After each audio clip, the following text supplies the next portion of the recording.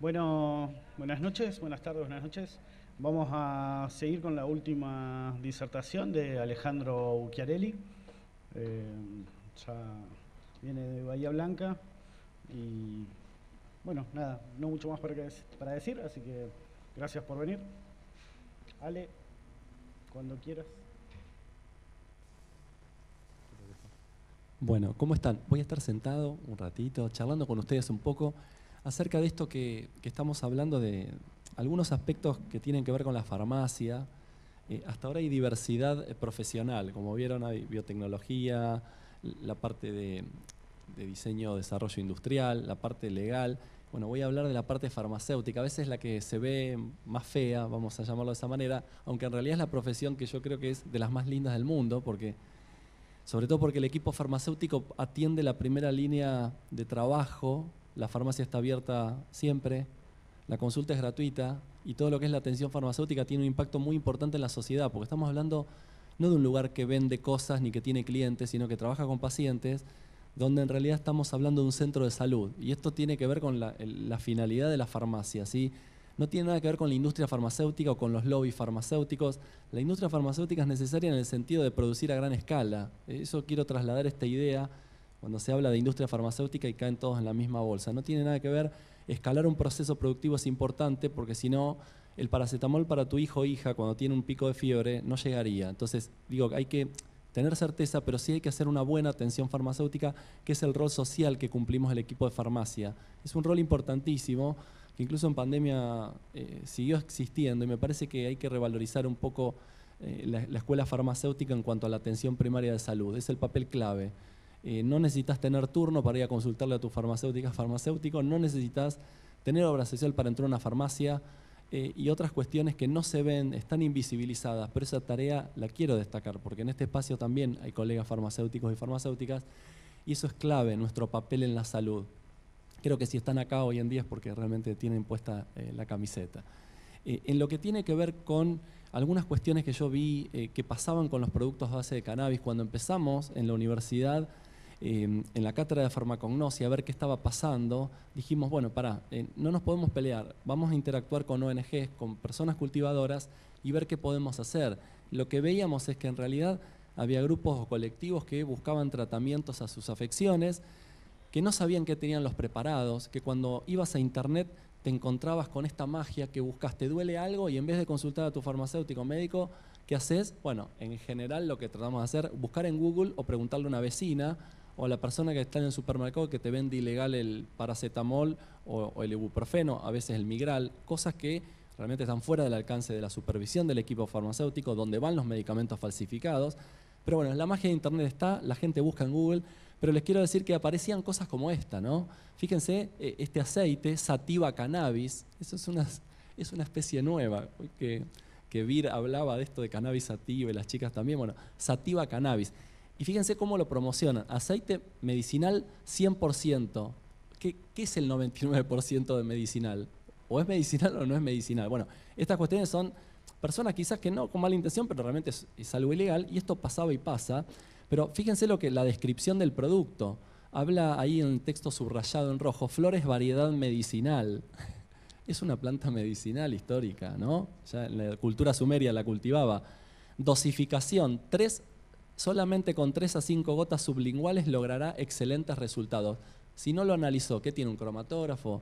¿Cómo sabe qué cantidad de receptores o densidad de receptores tiene la persona? ¿Qué condición fisiopatológica? grupo etario, sexo, etcétera. Hay muchas cuestiones. ¿Qué dieta lleva? ¿Qué edad? Es decir, cómo está su sistema inmunológico, digestivo. Cuestiones que están fuera del alcance del equipo. Por eso ese es el problema, que no está el equipo de salud acá. Eh, renueve con un importante descuento. Como si fuera un plan de ahorro, como si fuera... Eh, estas cosas pasaban y pasan hoy en día. Y otra pregunta, ¿qué ratio tiene y qué cepa es? El ratio se refiere a la relación en general entre cannabinoides THC y CBD, como hoy contaba Vir, como contaba también Rocío. Eh, y acá la respuesta de la persona que vende dice, tiene el THC necesario porque los neurólogos del hospital Churruca se los dan a los nenes autistas. Bueno, es incomprobable, pero alguien que no sabe de fitoquímica o de salud puede comprar este aceite. ¿sí? Entonces, esto es por qué nos metemos en el tema.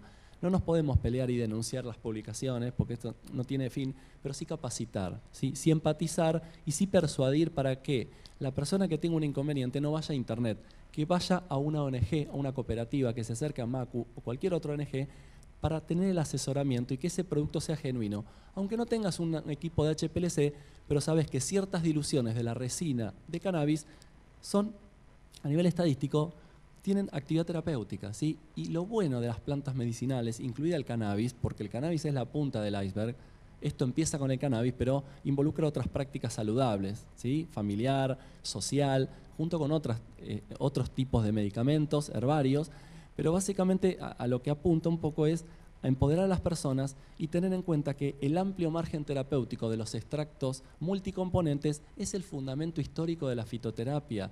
No descubrimos con el cannabis la fitoterapia. Bienvenido el cannabis para abrir esa puerta, pero ni si, hoy estamos hablando de cannabis, ni siquiera hablamos de psilocibe, de otras sustancias enteógenas que son recontra importantes, donde incluso plantas medicinales reconocidas como antidepresivas, como el hipérico, no le llegan ni a los talones a veces a estas sustancias enteógenas. El problema es legal, el problema es que no hay formación y las currículas de grado que yo cursé, el sistema endocannabinoide que hoy hablaban las chicas, no se veía. En el 92 se descubre, yo en farmacología 1 y 2, en farmacia no lo veía y no lo ven los médicos y médicas. Es decir, que hay un cambio cultural porque hay una necesidad de formar.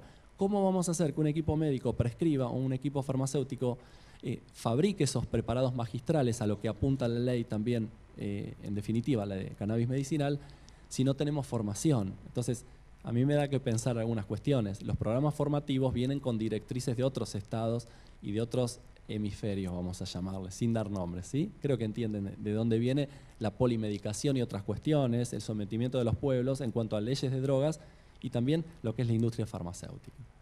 Bien, vamos a seguir por acá. Eh, había otras preguntas. ¿Qué, ¿Qué, cepa es? Le responden, es pura cannabis. Fíjense la terminología inadecuada. Pero bueno, estas son las cosas que nos enfrentábamos.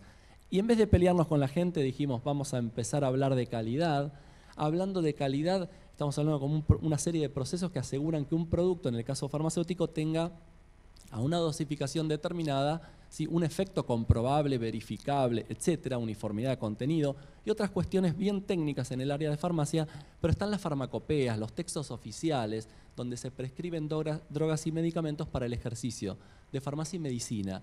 La monografía del cannabis la terminamos de redactar el año pasado en la subcomisión de herbarios, está en tratamiento en el INAME, pero va a salir y obviamente que es necesario que haya una norma, una norma que por lo menos sea una forma de tener un seguimiento y una validación de un proceso. ¿Por qué? Porque acá quiero decir algo.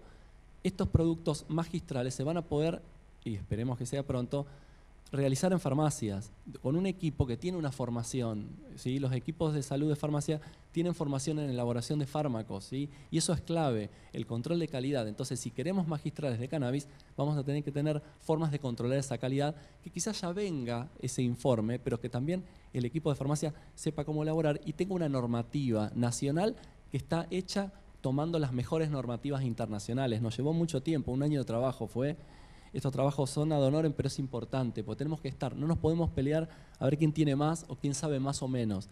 Es una cuestión de compromiso social y hay que moderar las cosas, ¿sí? Hay que modular, por eso el cannabis modula también, ¿no? Y, las subcomisiones también. Voy a hablar un poco de calidad química, porque lo botánico ya sabemos bien bastante lo que, lo que implica esos tricomas glandulares que producen resina, que tiene cannabinoides, terpenos, polifenoles, lignanos, etcétera pero quiero hablar de esto, lo importante de la fitoterapia, esta multiplicidad de moléculas, vemos hexágonos de colores que representan siglas, que son siglas que representan cannabinoides, vemos a la izquierda los terpenos, flavonoides, es decir, hay un mosaico de colores, formas químicas y elementos orgánicos que actúan en el cuerpo, en receptores que comentamos recién. Esto lo tenemos con la fitoterapia también, con una tintura de quinacea, lo tenemos con una tintura de boldo o la tintura que estemos utilizando. Esto existe. Podés ir a la farmacia y comprar una tintura madre o pedir que te lo elabore tu farmacéutica. ¿sí? Eh, ahora, ¿dónde actúan? Lo comentó recién eh, Rocío, este sistema de comunicación endocannabinoide muy antiguo que está en los mamíferos, está en las aves, reptiles, anfibios.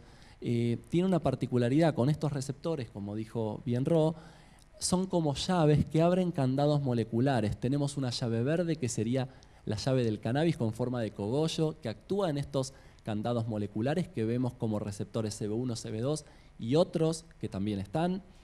Eh, son naturalmente producidos por el cuerpo, específicamente los que están en la llave central que tiene forma de cerebro, el sistema endocannabinoide, sistema endógeno, ¿sí? anandamida y 2-AG, sustancias de naturaleza lipófila porque justamente se obtienen a partir de la membrana plasmática de nuestras células, esa neurona que marcaba Rocío, postsináptica, a partir de esa membrana plasmática toma los elementos lipófilos, los glicéridos, los transforma y forman andamida y 2-AG. Son compuestos lipófilos, pero que se producen a demanda en el momento. Hoy en día no es posible dosificarlos adecuadamente. ¿Qué nivel tengo de endocannabinoide? Recién ahora hay un laboratorio que lo puede hacer, pero es muy complejo. En definitiva, no está a la altura de cualquier país. Pero sí es interesante porque se vio que este sistema puede ser modulado con cannabinoides de la planta de cannabis, que tenemos la llavecita verde.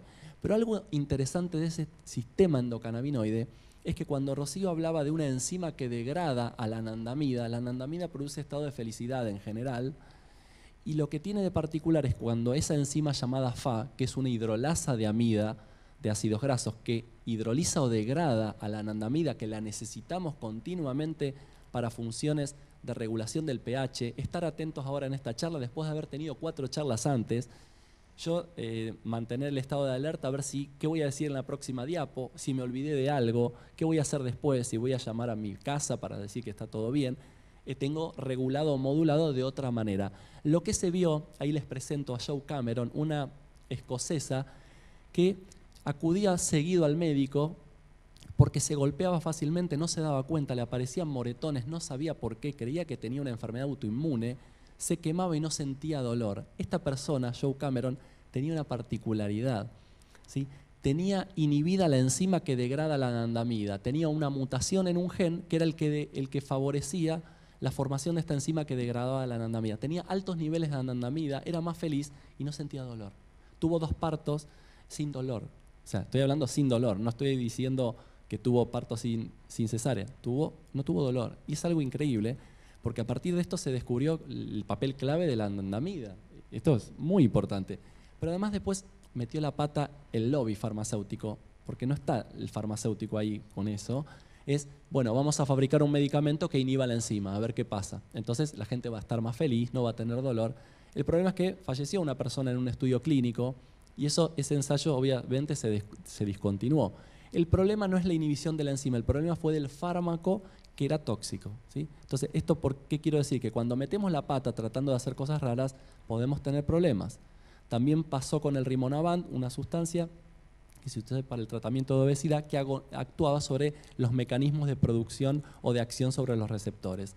Hay que tener cuidado porque estos fármacos, por ejemplo, el rimonabant parece que inducía o aumentaba la tasa de suicidios. Entonces, hay que ver cuando tratamos de hacer cannabinoides sintéticos, cosas raras, que cuando replicas una molécula orgánica y la, la sintetizás completamente a partir de átomos de carbono, hidrógeno, oxígeno, hay cosas que no se pueden replicar. Es como la, réplica de países de Asia que tienen menor calidad. ¿sí? Bueno, puede parecer igual, pero no actúa igual. Se orienta espacialmente de manera diferente y hay que tener mucho cuidado con esto. Si tenemos algo natural, ¿para qué lo queremos hacer el delta 8, el delta 10? el delta X, ¿para qué? Si eso funciona. Esa es la importancia y esos son personas que comercian con la salud, ¿sí? que no sabemos los nombres y apellidos, pero que son los que ponen plata en los clubes. Digo, va más allá de la industria farmacéutica. Digamos, no lo reduzcamos a eso. Eh, eso me, parece importante. Después, lo que tenía que ver con los eh, fitocannabinoides, hablamos los típicos de cannabis sativa, de las más de 300.000 especies de plantas superiores, cannabis sativa es la única casi prácticamente que produce cannabinoides en una cantidad suficiente para ejercer un efecto terapéuticamente comprobable. Es un milagro, realmente esto es milagroso.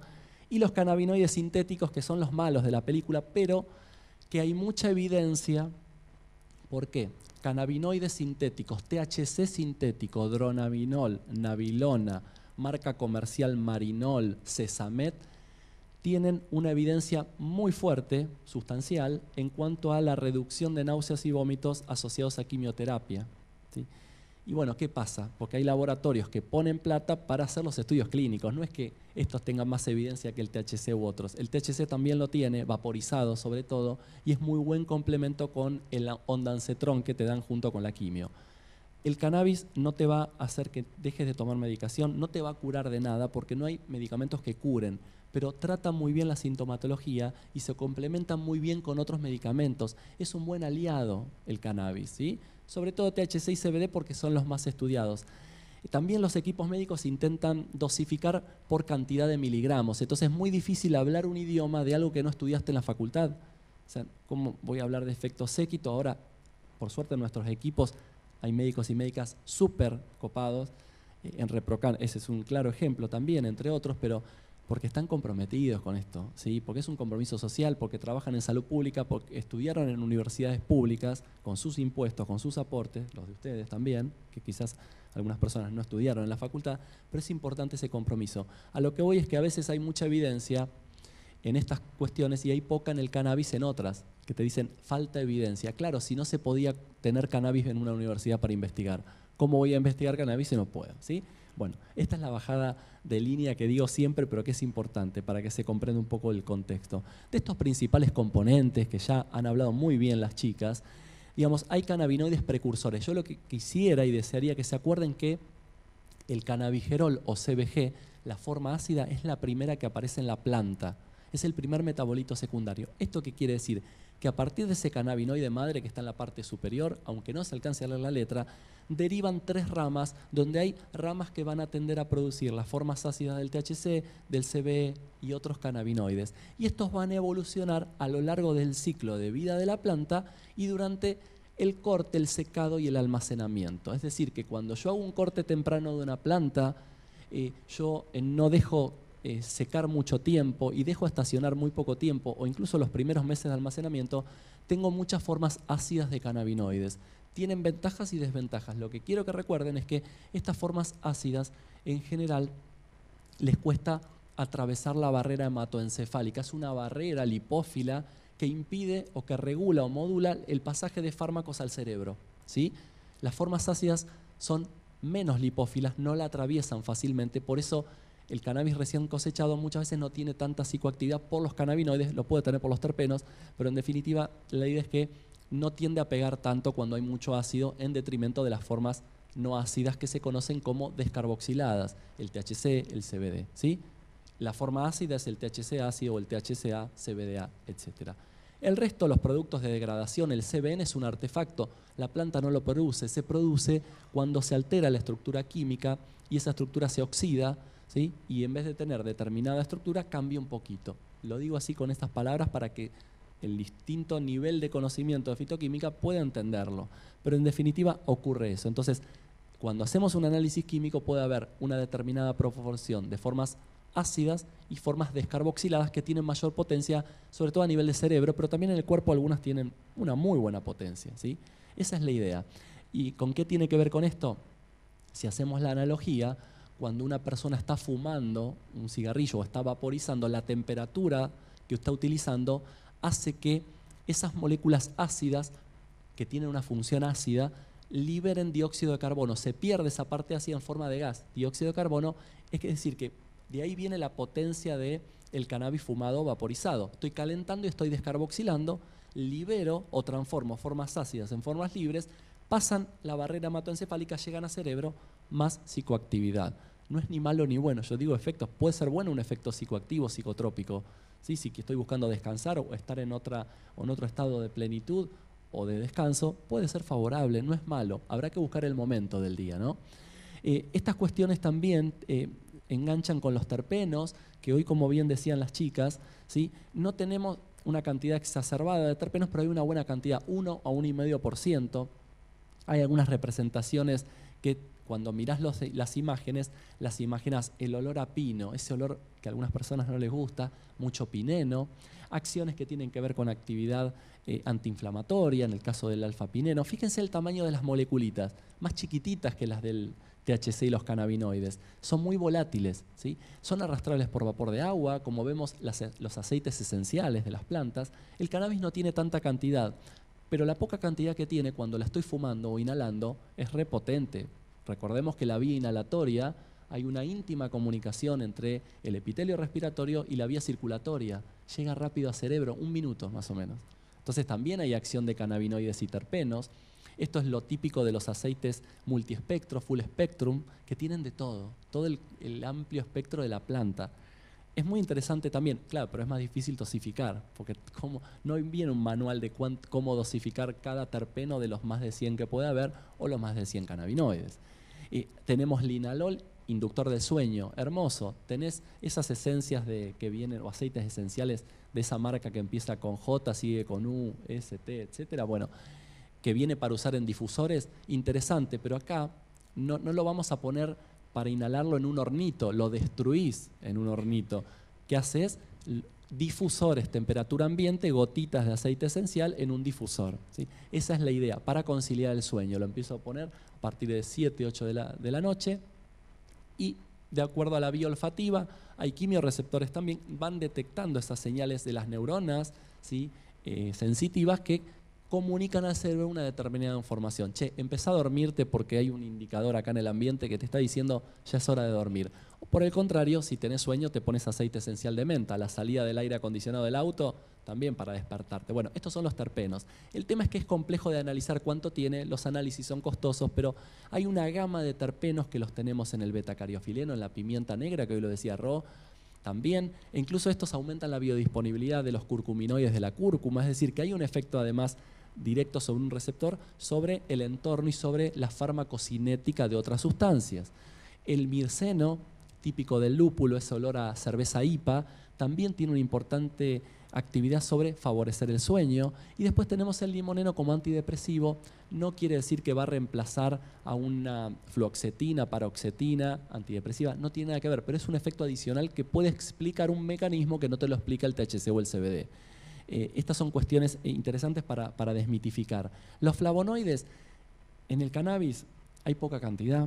Si haces la reacción de caracterización de flavonoides sobre un extracto de cannabis, te suele dar negativo, porque no tiene tantos flavonoides, tiene un grupo en baja cantidad que son las canaflavinas, que tienen una cadena alquílica al costado, ¿sí? en este caso, posición 3, que no la tienen los cannabinoides de otras plantas pero que también tienen marcado efecto interesante, neuroprotector, pero de manera aislada, los efectos antidepresivos.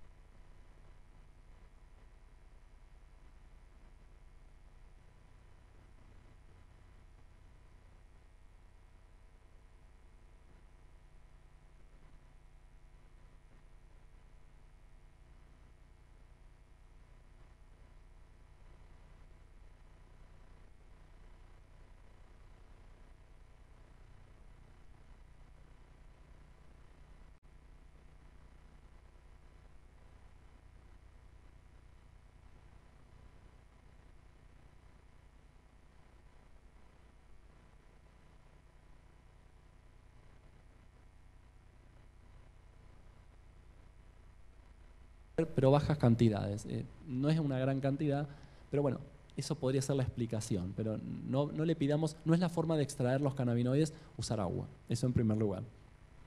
Y el efecto interséquito ya cambia un poco, porque además de los cannabinoides empiezan a aparecer otros grupos químicos, por ejemplo, el terpe, algunos terpenos que pueden tener eh, eh, efecto como pueden ser el lilanol, el mirceno, puede aparecer también otros cannabinoides como limoneno, linalol, como dije antes, beta-cariofileno. Es decir, empieza a completarse ese mosaico de colores con ese efecto interséquito entre moléculas que no son del mismo grupo fitoquímico.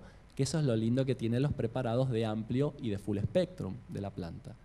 Eh, otras cuestiones también, eh, cómo impacta ese efecto séquito en las formulaciones, los perfiles. Las chicas hablaron de esto de los productos multicomponentes o monocomponentes. Estos productos multicomponentes lo vemos en la parte superior izquierda, hexágonos de cannabinoides de distintos colores son cannabinoides distintos, esferas pequeñitas son distintos terpenos, polifenoles, vitaminas, lípidos, etc. Son preparados de full spectrum o espectro completo de la planta. Tienen THC también, eh, tienen formas ácidas del THC, pero claro, a nivel legislativo por ahí para registrar el producto lo tenés que registrar como estupefaciente si supera el 0,3% peso en peso de THC junto con su forma ácida.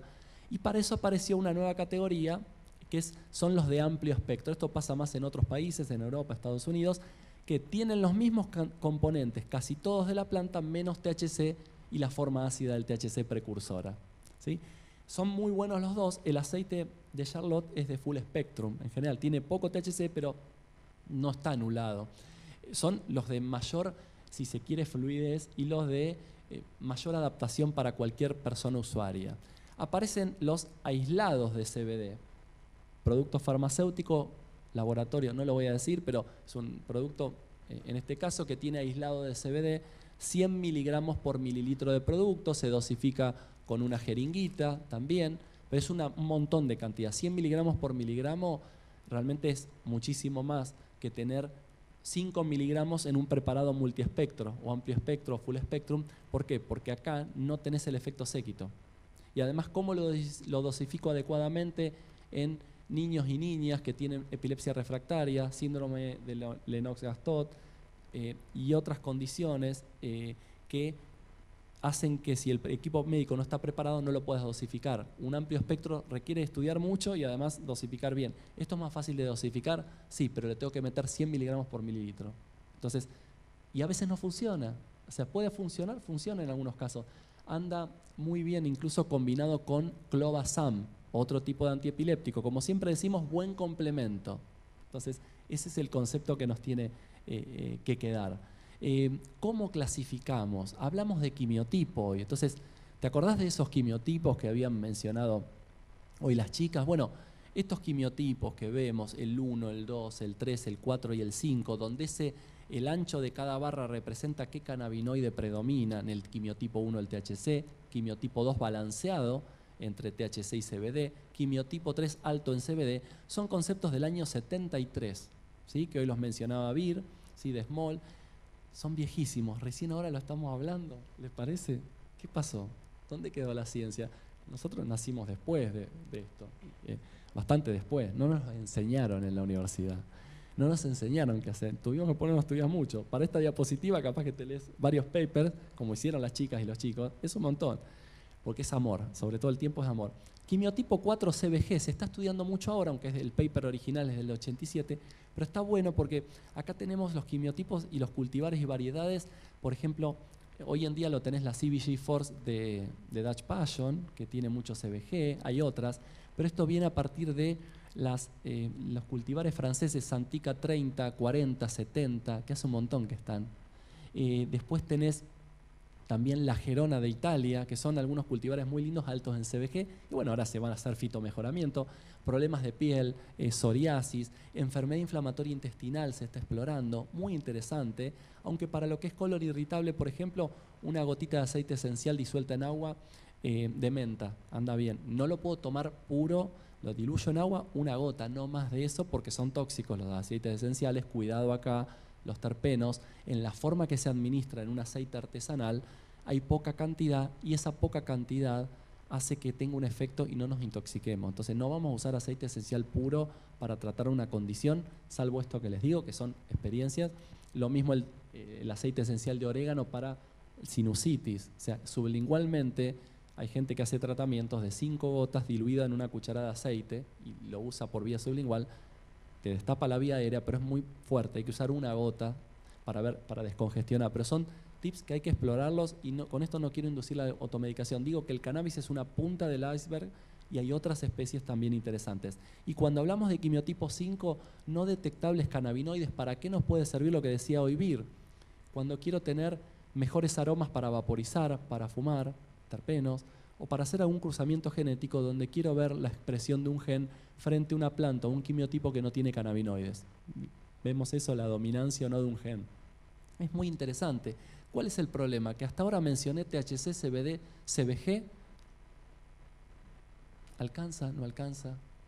¿Qué pasa con los terpenos? ¿Por qué los dejamos fuera?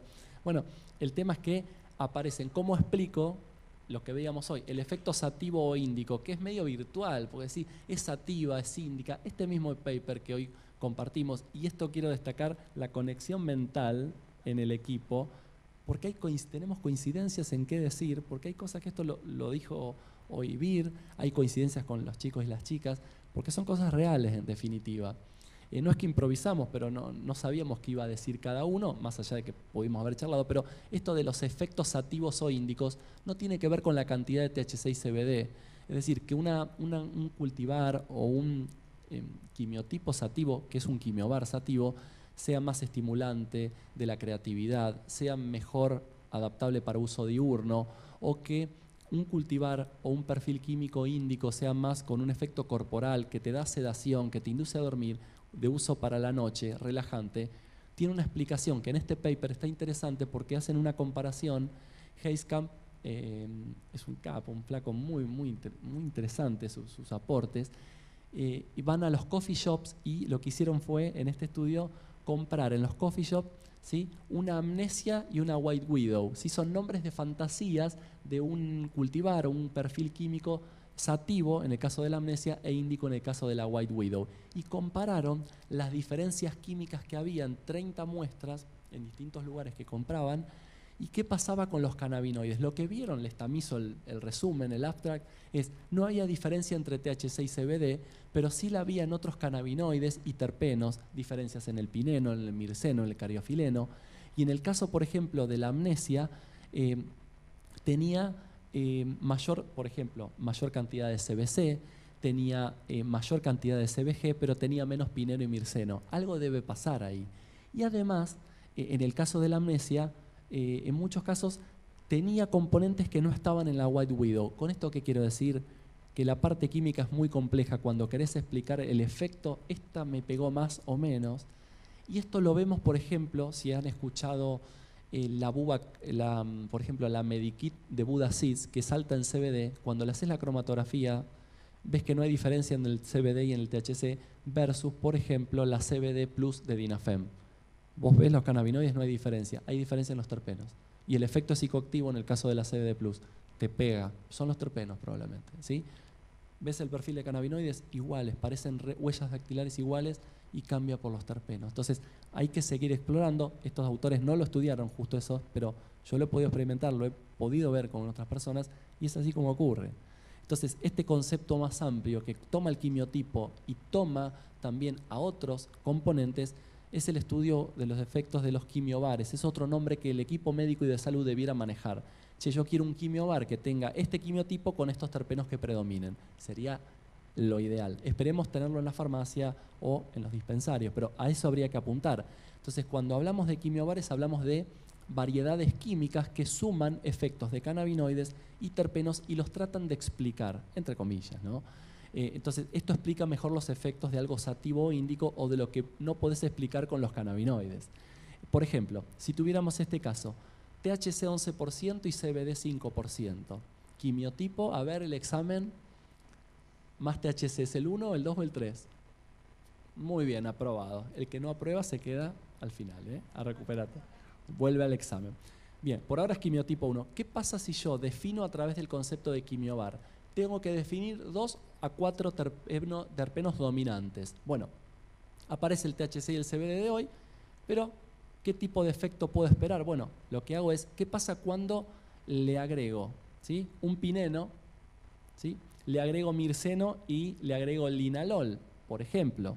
Bueno, en estos casos, acá lo que voy a tener, el efecto, por ejemplo, del pineno refuerza el del THC, pero el del linalol refuerza el del CBD. Bueno, habrá que ver quién gana, pero potencia el pineno el THC, el linalol potencia el CBD. Ya tengo efecto intersequito. Bueno, el, concepto de quimiobar habla de definir lo que predomina de cannabinoides, dos en general, o lo que predomina de terpenos entre 2 y 4. Hay que apuntar a eso. En general sería lo ideal. Y entonces algo interesante es que este quimiotipo, ahora ya no le decimos quimiotipo, le vamos a decir quimiobar tipo 1, porque hay más THC, ¿sí? pineno, mirceno, linalol dominante. Ese es el lenguaje técnico que habría que eh, utilizar en general para poder tener más chances. No estamos todavía en, ese, en esa etapa, pero es interesante. Alguien podría pensar, bueno, tengo un aceite, compro el aislado de pineno, mirceno y linalol y le pongo una gotita. No le puedo poner 20, ojo. Una gotita o dos en un frasco de 20 a 30 centímetros cúbicos podríamos intentarlo. Tienen que ser terpenos naturales. Ojo, el proveedor de terpenos. Una cosa es hacer inhalación y otra cosa incorporarlo directamente por eh, tubo digestivo. Y digo inhalación y no vaporización, porque ahí estamos en un problema. Pero hay que manejar con cuidado cuando le agregamos algo externo que no sabemos qué calidad tiene. ¿sí? Ojo, porque puede haber un proceso que desconocemos. Si es obtenido por destilación, por arrastre de vapor, etcétera, bueno, puede ser, pero no tenemos muchos proveedores en Argentina y es más complejo el tema. Otro ejemplo para que te quede un poquito más claro, estoy buscando algo para el tratamiento de migraña, cefalea, el migral no me hace nada, el tetralgin, perdón las marcas, la ergotamina no me está haciendo nada y no puedo tomarla todos los días. ¿Qué puedo usar diariamente para manejarlo, no? No puedo tomar todos los días algún analgésico. Bueno, otro ejemplo podría ser THC 11%, CBD 10%, quimiotipo 2, balanceado, pero le agrego otros terpenos, mirceno y cariofileno. Estos ideales para lo que sería este quimiobar tipo 2 mirceno cariofileno dominante y trato mejor las migrañas. Acá tenés el cariofileno, acá tenés el mirceno, THC y CBD. Efecto interséquito. Hincho con esto, pero quiero verlo con dibujos, con imágenes, porque es aburrida la fitoquímica si no sos apasionado. Entonces hay que captar al público con imágenes, pero esa es la idea de quimiobar. El quimiotipo lo seguimos usando, podríamos buscar también el, el quimiobar. Eh, aclaraciones importantes. Hoy Ro hablaba de las vías eh, de administración. Quería mencionarles simplemente cuando hablamos de esta vía oral tan interesante, eh, también la sublingual, en parte cuando intentamos usar la sublingual, algo del aceite se te va por vía oral, es más complejo porque los tamaños moleculares de los cannabinoides, la matriz oleosa, puede favorecer la absorción a nivel intestinal, pero también no se sabe bien lo que pasa por la vía sublingual, entonces a veces hay alternativas, usar la mucosa oral, eh, una resina en vez de un aceite colocado en la encía o en la parte interior de la mejilla, queda y se va absorbiendo por vía mucosal. Es difícil la cantidad como peso miligramos de, resina, bueno, es todo un tema, pero son opciones, ¿sí? Que de hecho, eh, en muchos casos en los animales, eh, como no les gusta el aceite de olivo, de girasol, se les da algún aceite de coco que es sólido, se le coloca en el hocico y se van lamiendo y lo van consumiendo. Pero siempre hay que consultar al equipo veterinario para estos casos porque, como bien decían las chicas hoy, la cantidad de receptores es distinta, la densidad y la sensibilidad al producto es diferente. No le podemos dar chocolate a un perro porque se muere. No le puedes dar ibuprofeno, paracetamol como tomamos los humanos. Entonces, hay cuestiones que la dosis, o lo que le des, tenés que estar ajustando esa dosis. Y yo no me voy a meter en un terreno que no domino y sería una falta de respeto para los equipos de, salud de, animal. Pero estas son cuestiones a tener en cuenta. Pero les puedo complementar algo de lo que bien decía, decía Ro respecto a esto de los alimentos a base de cannabis. No son el demonio, pero hay que explorar de a poco con baja dosis, sobre todo alimentos donde hay una matriz con, que, con hidratos de carbono, con lípidos, partes proteicas. Cuando comemos una cookie o un budín o lo que sea de cannabis, puede ser una linda experiencia para personas experimentadas, pero no para alguien que lo hace por primera vez. Entonces, para evitar demonizar al cannabis, eh, hay que considerar esto. Cuando ingerimos, lo que hoy bien decía Ro, eh, algo con THC y otras moléculas, ¿sí? este trazo grueso que vemos acá, lo vemos por acá también. Es decir, entra en estómago, una parte se degrada por el ácido estomacal, por enzimas que se puede alterar, pero esta gran parte llega al hígado y acá el hígado hay un sistema de detoxificación y de metabolización que es el citocromo P450, que no viene al caso, pero que sí es como, una, como un filtro, lo que hace es degradar todo lo que pasa por ahí. Pasa con los fármacos, cualquier cosa que tomas pasa por el hígado y una gran cantidad baja. Esta gran cantidad que desciende hace que aparezca ¿sí? una flecha chiquita roja, que es lo que queda de THC libre. ¿sí? De todo este total queda un poquito. Una parte también se transforma en un derivado muy potente, color naranja, que es lo que decía hoy Ro, el 11-hidroxi-THC, 3 a 7 veces más potente que el THC. Estoy comiendo, es decir, que el THC actúa como un profármaco. Lo, lo consumo por vía oral, una parte ¿sí? pasa por el hígado inalterado, una parte igual o equivalente se transforma en algo más potente, que es el 11-hidroxi-THC, que además atraviesa barrera hematoencefálica. ¿sí? Aunque tenga esa carga ahí, el, el grupo oxidrilo estéricamente está favorecido el pasaje a cerebro, entonces es más psicoactivo todavía. Em, claro, habrá que ver la dosis, ¿no? Y después una gran parte se metaboliza un derivado inactivo, que es el 11-carboxi-THC. Este no pasa barrera hematoencefálica, el trazo más grueso. Y después obviamente empieza a circular por todo el cuerpo. Pero ¿cuál es el problema? Que cuando analizamos la curva, cómo se comporta en el plasma, en la sangre, lo que vemos es que hay un pico muy grande ¿sí? del 11 carboxy THC, el inactivo, pero fíjense el de color naranja y el THC. No van tan altos, pero mira cuánto dura. ¿sí? Te dura, en algunos casos, ¿sí? 24 horas, ¿sí?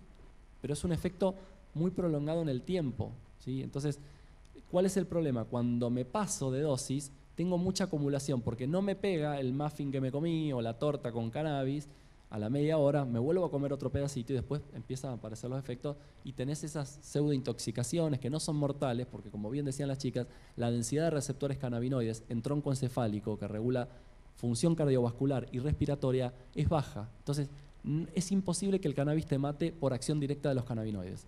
Esto no significa que si fumás cannabis y tenés un estado de pérdida de, en cierta de tus facultades, sobre todo cuando lo mezclas con el demonio del alcohol, porque ese sí es el demonio de esta película, ahí tu comportamiento se altera. En esta habitación, o en esta sala, mejor dicho, de la UTN, si todos nos pusiéramos a tomar alcohol, probablemente va a haber un inconveniente en algún momento de la noche, porque el alcohol exacerba otras cuestiones y tiene otro mecanismo distinto de alterar la estabilidad de la membrana plasmática de una célula, de una neurona sobre todo.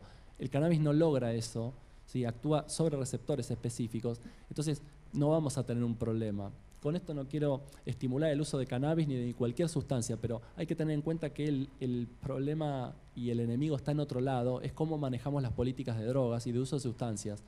El abstencionismo, prohibicionismo no funcionó, de esto habla Diana y siempre. Entonces, en realidad es la regulación. Habría que apuntar a eso. No soy abogado, pero tengo la, empatía como ciudadano de entender que lo que dice Diana es lo correcto, como siempre, es regular las sustancias no funciona el prohibicionismo, encarcelamiento de mujeres, población por narcocriminalidad o narcomenudeo, mujeres, población trans, o sea, hay algo, ¿no? Y el caso del cannabis es un ámbito machirulesco también. Hablemos de las copas canábicas, eh, hay varones, ¿sí? Entonces, tendríamos que hacer la, la no sé, CAPFEM o algo, pero también, ¿no? Porque es importante, realmente esto hay que revalorizar. Si hablamos de derechos, y bueno, hablemos un poco de esto también. Así que estaría bueno ¿no? que haya más chicas en las copas canábicas y se haga un espacio específico también, ¿por qué no? De la vía inhalatoria, les quería comentar que obviamente los problemas de los hidrocarburos policíclicos aromáticos, acroleína, metacroleína, que se, libera cuando se combustiona algo. Bueno, pero pasa con el cigarrillo también. Lo que tiene de, de positivo la vía inhalatoria es una rápida, un rápido acceso, pero también algo interesante es que ese efecto es muy rápido, pero dura menos en el tiempo. Entonces es una ventaja. Se te va a ir en un rato si tienes un problema de sobredosificación. Claro que personas con problemas respiratorios no, es una vía recomendada. Hay receptores de cannabinoides en pulmón, entonces las personas que inician esto tienen que hacerlo con dosis bajas, sobre todo porque se pueden sentir raras, no solo por lo que pasa en cerebro, sino también por la forma de respirar, que podés sentir cositas raras, pero también por los terpenos, ¿no? porque son muy potentes. Pero este tipo de dispositivos eh, están en general. Sí, algunas cuestiones que yo les quería eh, destacar, eh, lo que tiene que ver con las cantidades, moderarlas, pero tenemos otros dispositivos, por ejemplo, los concentrados que se hacen con extracción con butano, los BHO, cuidado porque se hacen con un gas que cuando se combustiona en esa cazoleta que se calienta con un soplete, se puede formar benceno. ¿sí? El benceno es carcinogénico. Entonces, alguien no puede estar todo el día dabeando, estos dispositivos son los davers, eh, haciendo eso. Lo puedes usar ocasionalmente, pero ten en cuenta que no es una práctica medicinal. Y esto sí, soy fuerte y claro, no está algo terapéutico. No porque no tenga cannabinoides, porque ¿cómo aseguras que no haya residuos de gas butano en un producto artesanal? Lo podrás hacer industrial, pero no, no está disponible. Es difícil andar con un, con un dispositivo de estos en el auto, pero respeto la independencia de cada persona, pero no como algo crónico, voy a eso. Lo que es recreativo y, ocasional, buenísimo, haz lo que quieras, pero para recomendarlo al equipo de salud por ahí habría que tener otro tipo de, digamos, de sustancias, pero podés dabear otras cosas que vengan, no sé, de un bubble hash que fue prensado u otras sustancias, otros concentrados que los podrías usar de manera similar. No, lo busquemos en el, en el BHO o en los derivados del gas eh, butano. Estos son dispositivos ya pseudomedicinales que son bolsas, el, vaporizador de Vulcano tiene una bolsa con una boquilla que se incorpora en un dispositivo que se coloca el material vegetal, se calienta y se llena la bolsa con vapor, no con humo, de cannabinoides y terpenos. Muy interesante también esa experiencia. Habrá que regular cuántas caladas voy a utilizar, ¿sí? Como para, para hacerlo. Eh, Estas son algunas cuestiones de, los metabolitos también, cómo van modificándose a lo largo del tiempo. Pero acá me interesaba algo de la vía inhalatoria, las temperaturas de vaporización. Con un vaporizador tenés una regulación casi grado a grado o con un margen de 2 o 3 grados centígrados, donde en función de la temperatura que usas en tu vaporizador, podés favorecer que se evaporen determinado grupo de cannabinoides. Está muy interesante para tener en cuenta. Entonces, si yo quisiera vaporizar e incorporar CBD, trabajando, pero sin THC, que ese es el problema, el THC vaporiza 155 grados de manera aislada. Lo que pasa con el resto en una matriz vegetal tiene un cierto grado de eh, desvío estándar, vamos a decirle que no es exactamente, esto está hecho con cannabinoides aislados, pero en definitiva, si yo quiero evitar la vaporización de algo que tiene THC, pero que tiene CBD, dejo el vaporizador funcionando a 155, 160 grados en un tiempo prudencial, 10 minutos, y después lo que hago es subir la temperatura del vaporizador hasta 180 y utilizo el CBD y otros cannabinoides que se volatilizan a esa temperatura. Digo porque siempre hay alguien que te dice, sí, pero si tiene también THC, ¿cómo hago con el vapo? Bueno, esa sería una estrategia que podríamos usar y si no, usamos un quimiotipo o un cultivar o un quimiobar que tenga CBD o predominancia de CBD, quimiotipo 3. Eh, y acá aparecen, bueno, obviamente estos terpenos. Los vaporizadores, te digo que podés vaporizar plantas medicinales, lavanda, podés vaporizar eucalipto para afecciones respiratorias, entonces, lo puedes usar, no, están pensados solo para el cannabis. El manual de usuario del vaporizador Mighty de Stoss Bickel, que es el mismo que fabrica el Vulcano, te vienen las temperaturas óptimas para plantas medicinales. Así que está interesante. Te podés armar cigarrillos con plantas medicinales, podés diluirlas con otra planta, pero eh, una calada o dos, tampoco podés invadirte con, terpenos de, de las aromáticas, pero está muy interesante eso. Y alerta epidemiológica 2019, Ministerio de Salud, un problema de lesión pulmonar asociado a uso de cigarrillo electrónico. Acá quiero hacer una aclaración. Han habido algunas alertas epidemiológicas en Estados Unidos por parte de la FDA porque había gente que tenía problemas, enfisema pulmonar, EPOC, por usar cartuchos con THC aislado. Cuando analizaron esos productos, no era el THC ni un cannabinoide. El problema es que esos cartuchos con líquido que tiene THC o lo que fuera, e incluso los vapeadores, estos cartuchos que largan olor a cereza, frutilla, menta, vainilla, que la, población joven lo usa para no fumar y creyendo que hacen algo bueno, tenés sustancias tensioactivas, emulsificantes, que permiten que sustancias que no se disuelven en un líquido de uso farmacéutico, un propilenglicol u otros solventes de uso eh, humano, se puedan dispersar o disolver o emulsionar en esos líquidos donde no son solubles, porque los cannabinoides, terpenos son lipófilos, los saborizantes, algunos son lipófilos, no se disuelven en algunos líquidos. si El propilenglicol es polar, es hidrófilo. Entonces, ¿qué hacen? Le agregan deriva, sustancias excipientes, aditivos, vamos a llamarle vulgarmente, no es el término farmacéutico, como el acetato de vitamina E. Es un derivado que está preparado para la industria cosmética, algunos productos por vía oral, pero de ninguna manera ser inhalado. El epitelio pulmonar, la zona alveolar, no puede recibir este tipo de productos, el acetato de vitamina E. Y eso es lo que encontraron en algunos productos. Entonces, son productos, los cigarrillos electrónicos, no regulados por un Ministerio de Salud. Y tenés problemas, te vienen exportados de cualquier, un container y no sabes lo que traen, te los venden en otros lados, supuestamente como eh, no carcinogénicos o no dañinos, y te va a traer este problema. Entonces, mensaje para la juventud, querés dejar de fumar, deja, o fuma menos, pero no uses esto porque es peor que el tabaco. Entonces, hay que tener cuidado con estas cuestiones. No menor el caso de la calidad química. ¿Qué está pasando? ¿Cómo hacemos para ver qué tiene mi aceite? Que es una problemática. Che, me estás dando teoría de quimiotipo, quimiobar. Las chicas y los chicos aportaron cosas interesantes. Pero bueno, ¿cómo lo hago fácil? Porque no puedo pagar 5 mil o 9 mil pesos para un análisis cromatográfico de solamente cannabinoides, cuando ese análisis vale más que el frasquito que me venden en Instagram. Entonces, eh, digo, ¿qué, ¿qué hago? Bueno, dijimos, ¿qué podemos hacer? Y con, con, Nico lo presentamos en un congreso de farmacia, el RICIFA, allá en 2016, en Rosario, eh, de evaluación del perfil químico y de uso medicinal de preparaciones de cannabis con un kit que, armamos, que, debe estar por ahí, supongo, dando vueltas, pero la idea es un kit sencillo y lo que hicimos fue analizar variables. Eh, analizábamos para qué usaban las personas el cannabis, qué edad tenían, para qué condición y qué perfil químico tenían. ¿sí? Lo dividimos por edad, sexo, etc. Con este trabajo en un congreso, en un momento donde no estaba el ReproCan todavía, 2016 fue esto, no estaba ni la ley de cannabis, pero queríamos mostrar algo. Y esto fue, estuvo bueno, porque realmente era medio disruptivo.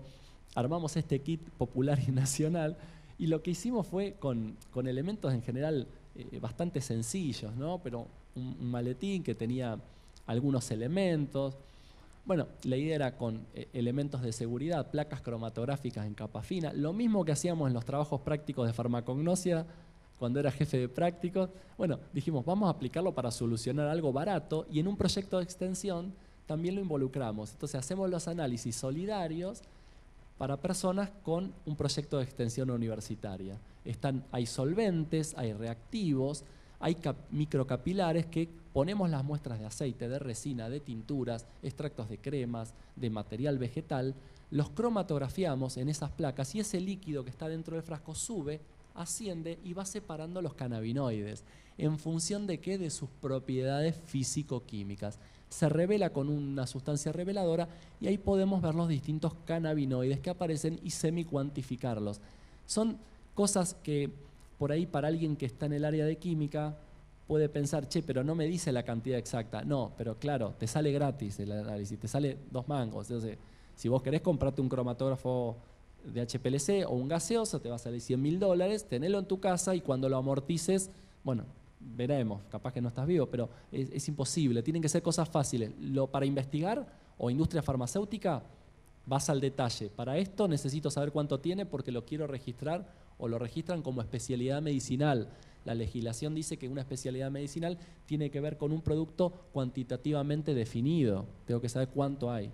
Y es muy difícil analizar un, un aceite multiespectro de todo. Sale una fortuna ese análisis. Entonces hay que buscar cosas sencillas.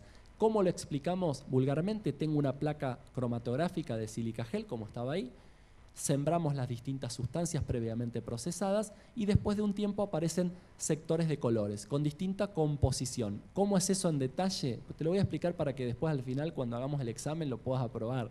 Pero estos perfiles químicos se representan, esto es parte de lo que presentamos en ese congreso, había más de 700 muestras, cada número representa una sección vertical donde hay compuestos químicos.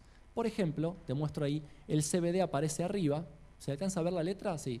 El THC abajo, en este, en este sector. Fíjense que todas las muestras tienen THC. La planta genera THC por sus rutas biosintéticas, su sistema enzimático tiende a producir THC naturalmente. Si no sabes si algo tiene THC, todas tienen algo en mayor o menor medida, la mayoría tiene mucho. Eh, después aparecen otros como el CBG, el CBC, mira acá, el CBG. Es la única que tiene un montón, mira acá el resto no tiene, o tiene muy poco. ¿Qué pasa? Estas son las, genéticas de quimiotipo 4, alto en CBG. Existen, son de esa que yo les dije, la CBG Force. Bueno, la analicé con una persona que, lo mandó y una persona que tenía el kit también, lo analizó y da eso, da así, no, no hay mentira. ¿Y qué más pasa? ¿Esto qué es esto alargado que veo acá? Las formas ácidas. ¿Qué pudimos ver con esto? Que había distinta cantidad de formas ácidas. Cuanto más largo esté este, sector y más oscuro, más cantidad de forma ácida. Yo podría decir, bueno, este corte quizás fue no muy tardío y no se añejó mucho tiempo, o al menos este aceite no fue hecho con una técnica de extracción con alcohol y evaporación a baño María, porque no hay descarboxilación, siguen estando. Esta muestra tiene menos, quizás fue descarboxilada. ¿Esta qué pasó? No hay nada. No tiene nada. ¿Sí? ¿Qué es? Aceite comprado en internet. ¿Sí? Este, bazar natural, aceite de cannabis con etiqueta hecha con impresora de chorro de tinta.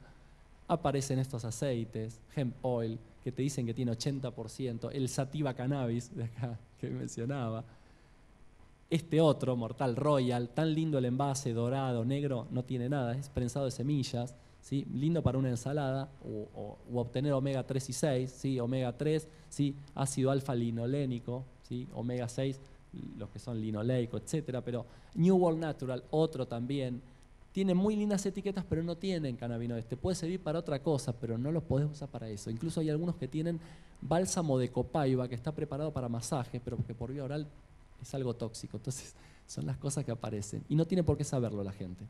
Por eso tenemos que informar, no penalizar, no, no, no denunciar, porque no tiene sentido, persuadir e intentar cambiar. Che, hacele vos el aceite con tu ReproCan, anda a tu ONG, la ONG de tu ciudad, para tener más acompañamiento y mejor si vas a la farmacia también y complementan. Acá nadie tiene que tener el mayor conocimiento, el equipo interdisciplinario. Es esa para mí la clave.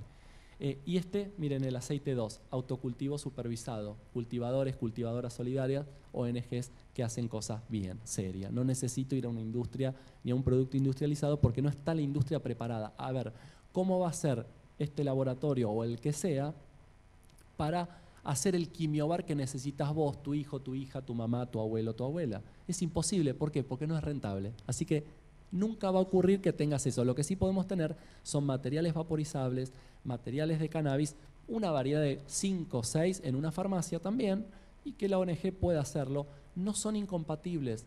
A pedido médico se hace en la farmacia, a pedido no médico o individual también se puede hacer en una farmacia o artesanalmente. Acá no hay que invadir a nadie, hay que integrar los saberes y complementarnos. Esa es la idea. Bueno, esta es una reglita de, cómo medir los cannabinoides de manera rápida y estimativa, obviamente. Eh, y después algunos resultados de este estudio, porque quiero que sepan también algo que pasó en este estudio, pero de productos la mayoría, casi 94% eran aceites, el N842, un montón de muestras, eh, un montón, ya llevó 3.000 más o menos, de hecho, eh, siempre vamos haciendo más. material vegetal, 3,5% de lo que usaba la gente, y otros productos, desde jabones, cremas, etcétera, eran casi 3%. También otros datos de color, eh, compra, casi 81% los compraba, no los elaboraban. Cultivo solidario, ONG, 14%, propio, 5%. Esto cambió, por suerte, esta torta. Estoy hablando hace un par de años, pero me encanta decirlo porque eso quiere decir que progresamos como sociedad.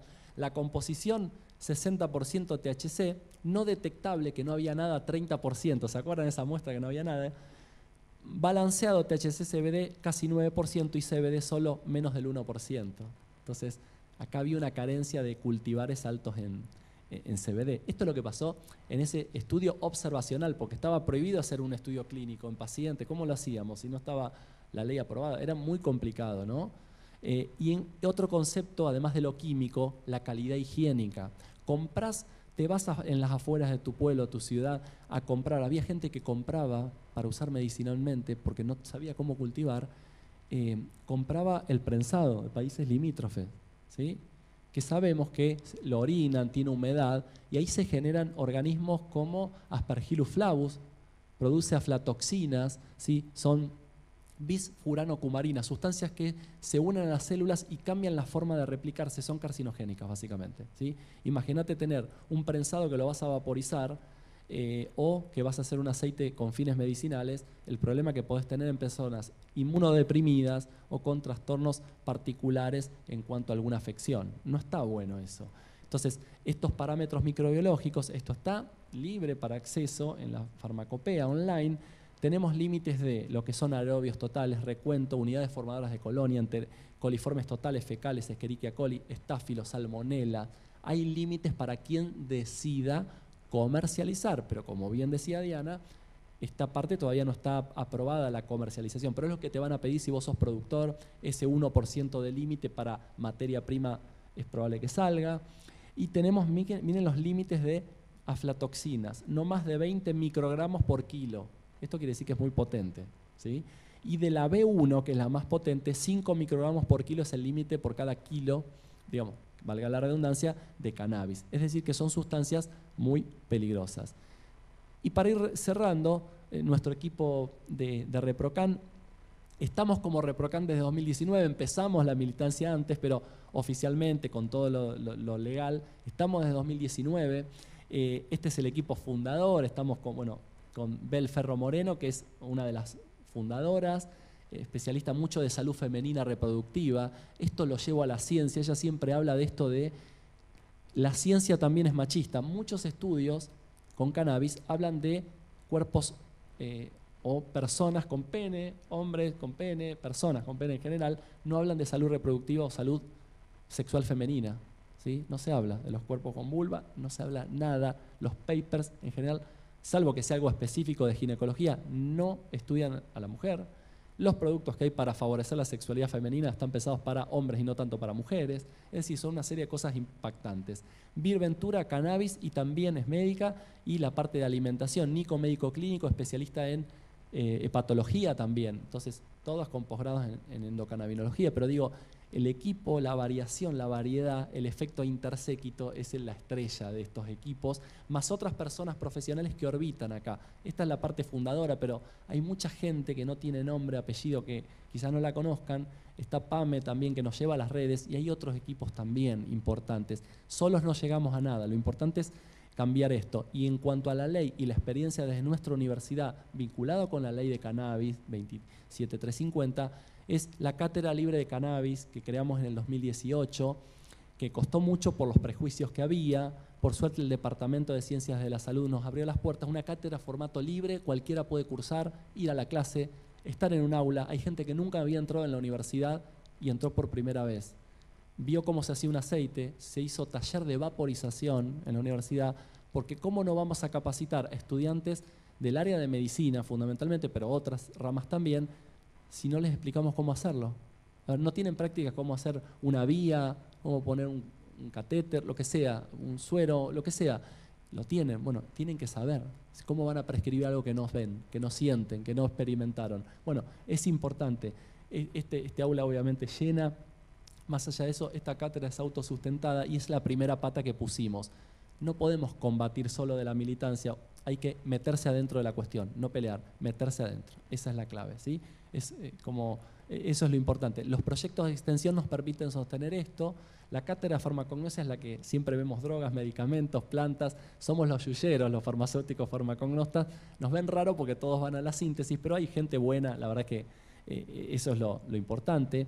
El proyecto de extensión del equipo interdisciplinario en cuanto a cannabis medicinal y fitoterapia. Vienen estudiantes de la secundaria a ver si les gusta farmacia o no.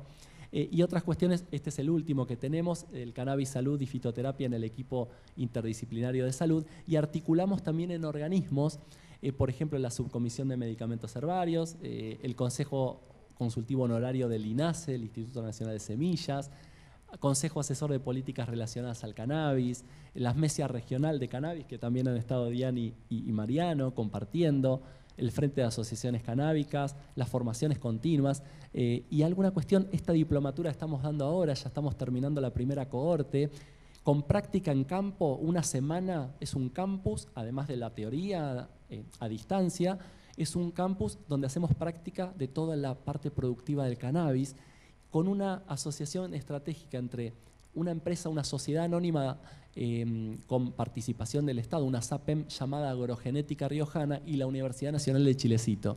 ¿sí? Agrogenética Riojana pone instalaciones para hacer práctica y la universidad sponsorea, es anfitriona, em, aprueba este, este, ciclo de capacitación y esta empresa, emprendimiento, es una SAPEM, no es una empresa, no me gusta esa palabra, pero eh, es, está, elaboró, lo va a alargar próximamente, el aceite federal. ¿sí? 10% de CBD, 100 miligramos, igual que esto, pero hecho en una provincia con mano de obra de la provincia hasta el envase, creo que está por ahí, Mati, eh, hecho con eh, papel reciclado, o sea, una serie de cuestiones que trascienden el cannabis y cualquier otro tipo de, envase. Eh, obviamente, siempre esta es Martina y siempre está porque ella de chiquita vivió con esto, no, no, no está usando cannabis para nada, pero ya de chiquita tiene el amor por la planta y no las rompe, las riega, tiene tres años, pero importante esto que genera en la familia, acompañar, es, un, terapia cultivar una planta, una hortaliza, lo que sea, pero cambia la mente de la gente y es tema de conversación en un domingo eh, comiendo pasta o lo que fuera, porque está la gente comprometida. Antes era imposible, te mandaban una granja, ¿no? Hoy en día se ve de otra manera porque hay una necesidad. Entonces, quiero destacar esto eh, a ustedes agradecerles, a mis compañeros y compañeras, que realmente es hermoso estar con estas personas que saben tanto. Eh, estos equipos son importantes para prosperar.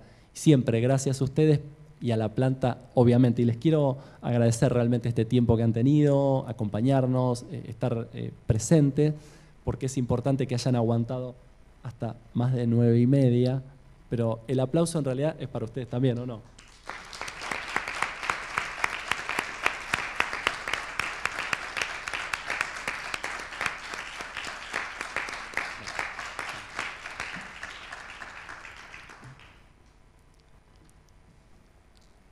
Estamos bien, salió, todo en redes, sí.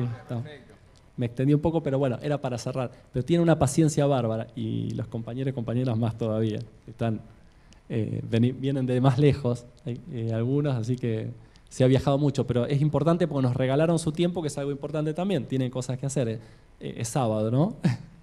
así que, bueno, nos quedamos por si alguien tiene dudas, pero off the record ya damos por cerrado y, bueno, nos quedamos charlando, lo que, lo que quieran, ¿sí?